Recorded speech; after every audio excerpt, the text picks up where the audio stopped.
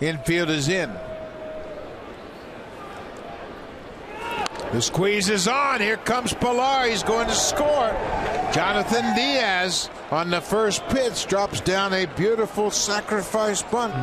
Suicide squeeze was on and Diaz delivered. You saw that it was just screaming for the squeeze. You got a big right-hander who throws a lot of fastballs with some sink on it. Number nine hitter, runner at third base. Let's run the squeeze.